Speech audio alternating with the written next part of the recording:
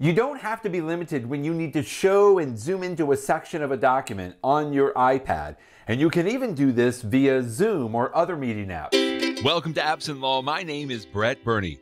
Today's app is iTrial, which is an innovative presentation app from ExhibitView Solutions LLC, which is a litigation support and trial presentation consulting company. First, I'm going to show you how the iTrial app works and some of the features and buttons and everything. And then I'll just briefly show you how you can take advantage of all of those features inside Zoom or another meeting app. Most of you already know how to use something like Microsoft PowerPoint or Apple's Keynote. And these apps, of course, work fantastic if you have an outline or a presentation where you know you're going to go to the next slide, next slide, next slide, next slide.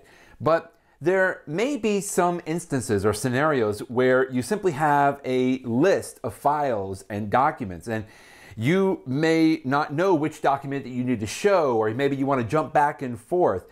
And once you bring up a document, one of the things you might want to do is actually call attention to a certain section or do what we call a call out of that section, maybe highlight some text as well, or draw a circle or something on that document or that picture or that file. Don't get hung up on the trial part of iTrial.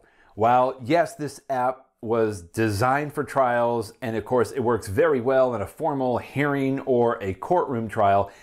It can be used anywhere where you're in a meeting with colleagues, for example, or clients, and you simply just want to walk through a document. And frankly, you want to control the attention of your audience. That's where iTrial can help. Now, the first step is to create a case. We'll just call this one test case.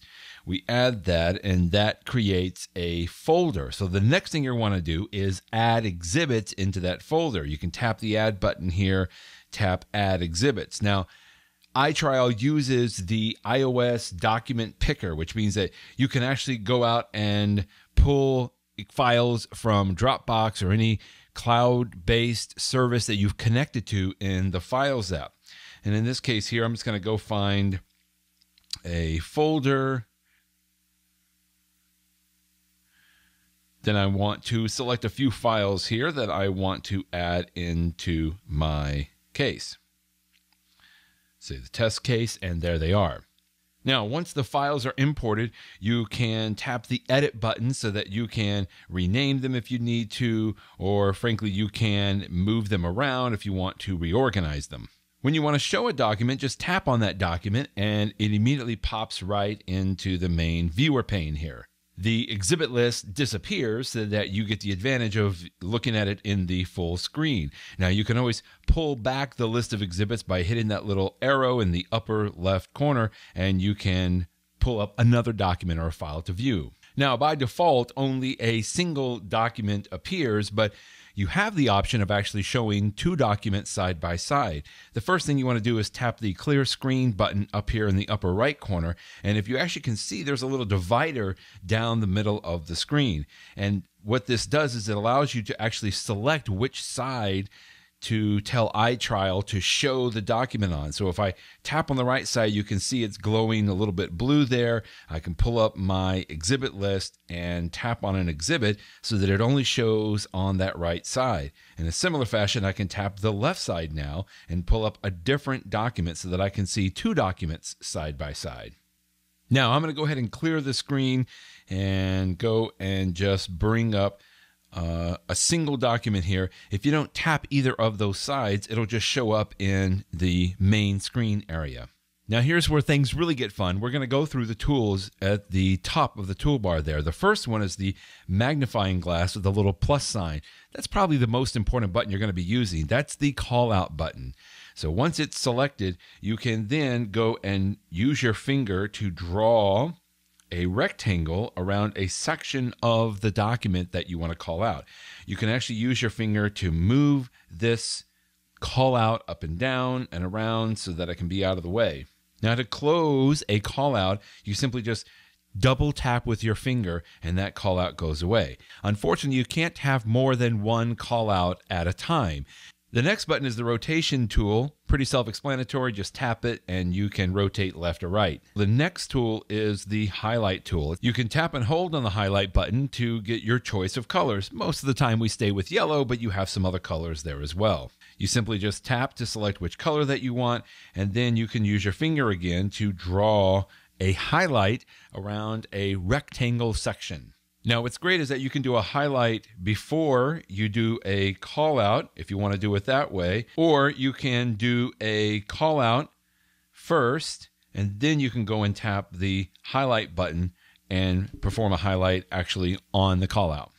Now the next button uh, looks like it's it's an underlined button, and that's because it's really a straight pen tool. You can tap and hold on this as well to select a different color and a line thickness. Uh, I usually do a red. What it really does is draw a straight line.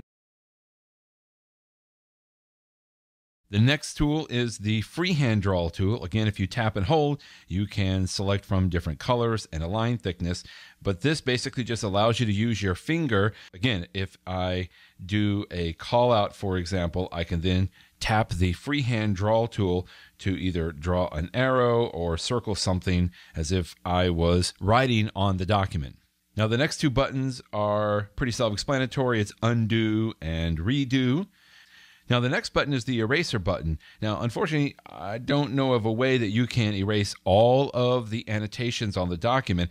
So, what I would recommend is tap and hold, select the thickest eraser that you can, and then basically you're just using your finger to go through and erase some of the annotations that you've done in the past, including highlights or lines. The next button is a laser pointer tool. You can tap and hold on this to get different types of lasers. I wish you could change the color on this. Really, all this is doing is that if this were a uh, on a projector, you could just basically call attention to something without either uh, circling it with a pen or just sort of use a laser pointer instead.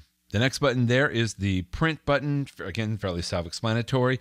And the button with the camera on it is really called the snapshot or the screenshot tool. I really like this tool because if you've got things marked up and you want to kind of save all of your annotations, you simply just tap on that camera and you don't even really see much that happens, but it actually creates a JPEG in the saved exhibits folder over here.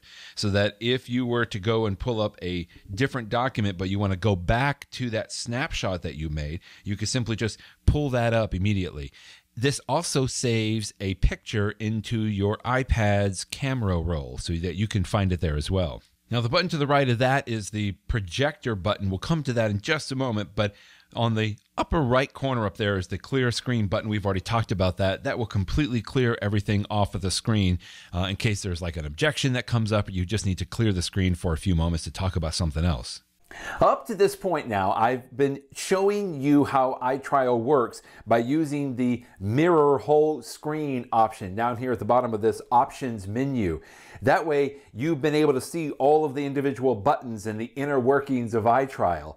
But when you give a presentation, your audience doesn't see this back end. They don't see all the buttons. They don't see the list of your documents. All they see is a black background with whatever document or file that you're projecting at the time. This works out great though because you still have access to all of the buttons in the functions in iTrial right from the screen of your iPad. So you're in full control of what you want your audience to see. You're just directing the show from your iPad.